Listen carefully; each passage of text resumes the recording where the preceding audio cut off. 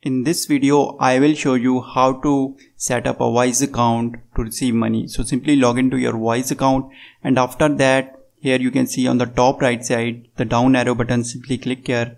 Now click on your details.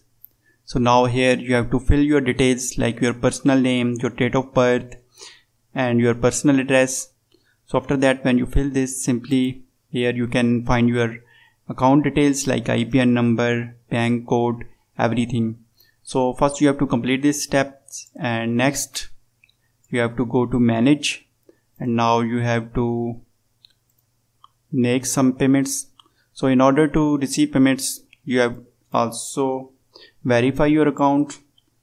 So simply just click on continue.